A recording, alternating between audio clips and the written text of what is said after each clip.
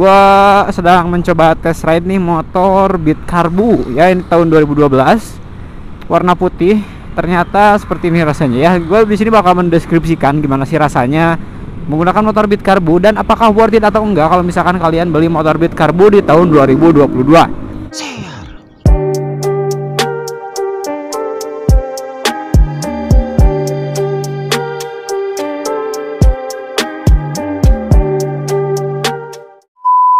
warahmatullahi wabarakatuh. Bertemu lagi dengan gue saya dari Asodi Channel ya eh, kesempatan kali ini gue lagi coba motor eh, Honda Beat.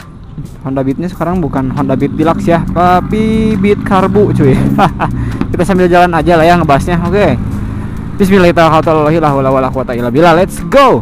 Nah jadi pada kesempatan video kali ini gue sedang mencoba test ride nih motor Beat Karbu ya ini tahun 2012 warna putih ternyata seperti ini rasanya ya. Gue di sini bakal mendeskripsikan gimana sih rasanya menggunakan motor Beat Karbu dan apakah worth it atau enggak kalau misalkan kalian beli motor Beat Karbu di tahun 2022 nah jadi yang pertama di sini gue uh, rasakan dulu ya. Uh, enak sih looknya ya. Viewnya juga enak. Kalau misalkan bawahnya ini stabil kelebihannya dulu ya. Gue bahas dulu kelebihannya. Jadi untuk Beat Karbu ini kelebihannya memiliki tenaga yang lebih kencang dibandingkan dengan beat-beat tahun baru ya tahun yang lebih baru. Contohnya kayak beat FI atau beat deluxe ya yang udah injeksi. Tapi untuk beat karbu ini tenaga lebih nagen cuy. Asli ini kencang banget kalau misalkan torsi tarikannya ya. Kalau misalkan gas tuasnya ini ditarik dikit tuh ini udah lumayan maju kayak kalau misalkan gua pakai motor si Superboy itu udah setengahnya gitu. Kalau ini gas tipis udah lumayan tarikannya enak gitu ya Nah, terus untuk kelebihannya juga menurut gua ya ini kalau menurut prinsip gua looknya masih oke, okay, jadi nggak terlalu jadul banget. Ini masih kekinian lah untuk anak muda. Untuk anak muda ini masih oke, okay, masih keren dengan tampilan yang sporty. Terus apa lagi ya kelebihannya ya? Enak sih. Karbu ya, oke. Okay.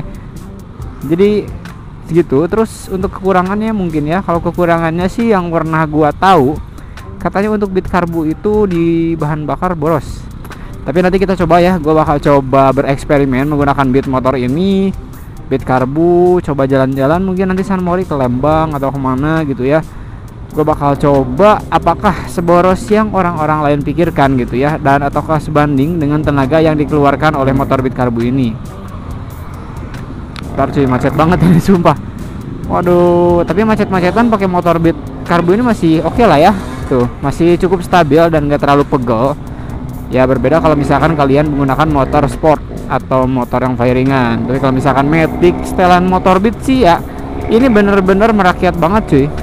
Dan cocok untuk dipakai di dalam kota seperti macet kayak gini ya. Itu termasuk kelebihan juga. Terus kekurangan yang gua rasakan itu mulai dari lampu ya. Ini semua lampunya masih bohlam yang gue tahu cuy. Jadi belum ada e, menggunakan LED ya wajar lah. Ini motor kan beat keluaran pertama. Jadi belum ada lampu-lampu LED sama seperti motor yang sekarang. Jadi untuk bagian lampu utama lampu sen itu semuanya masih menggunakan bohlam ya. Terus dari bagian speedometer. Speedometer ini masih analog belum ada digitalnya sama sekali cuy. Ya nih mulai dari ininya yang analog terus kilometernya analog langsung bagian bahan bakar juga ini menunjukkannya menggunakan analog cuy. Belum ada digital sama sekali ya. Berbeda dengan Beat sekarang kalau untuk Beat Deluxe yang tahun sekarang itu ada dua ada analog dan digital. Jadi dua-duanya digabungin ya. Itu cocok banget sih dan keren menurut gua. Dan ini menurut gua sih masuknya ke bagian kekurangan bagian motor ini tapi untuk tahun-tahun yang sudah dikeluarkan pada tahun awalnya si Beat ini ini termasuk kelebihan cuy sebetulnya ya. Karena untuk tahun sekarang ya analog itu udah tinggalan zaman mungkin. Sudah diganti dengan digital. Terus apa lagi ya? Sudah sih mungkin segitu ya. Dan ini yang gua rasakan stabil cuy. Enak-enak aja kagak ada yang bermasalah loh. Tuh enak ya untuk dipakai dalam kota ini masih sangat worth it. Dan lanjut lagi pembahasan kedua. Apakah kalau misalkan kalian membeli motor Beat Karbu di tahun 2022 ini masih worth it atau enggak? Ya di sini gue bakal jawab kalau misalkan kalian membeli Beat Karbu di tahun 2022 itu menurut gua ini masih worth it kenapa? Karena motor Beat ini nggak terlalu tinggalan zaman. Ya disebut masih bisa motor modern juga karena udah dengan teknologi metiknya bukan dengan gigi.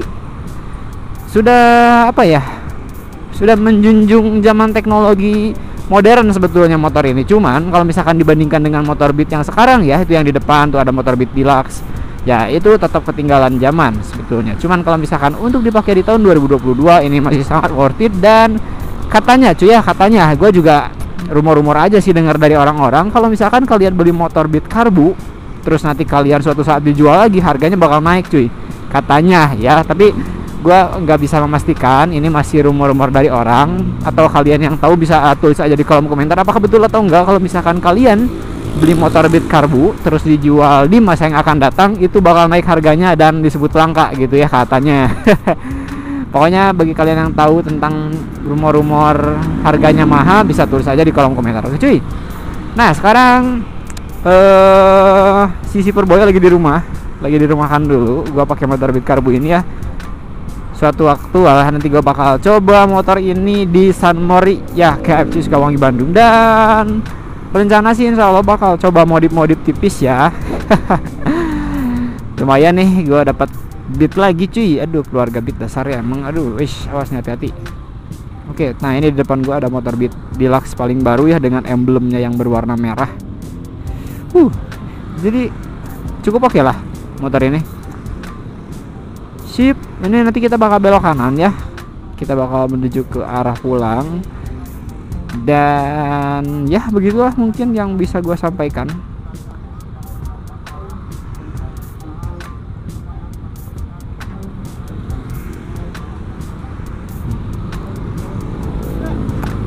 mengenai motor Beat Carbo ini ya. Jadi sebelumnya mohon maaf juga kalau misalkan ada ucap-ucap kata yang salah mengenai review motor Beat ini karena gua juga baru kali ini banget cuy detik ini gua pakai menggunakan uh, motor Beat Carbo sama sekali belum pernah sebelumnya. Jadi ini yang gua rasakan ya it's okay mungkin ya.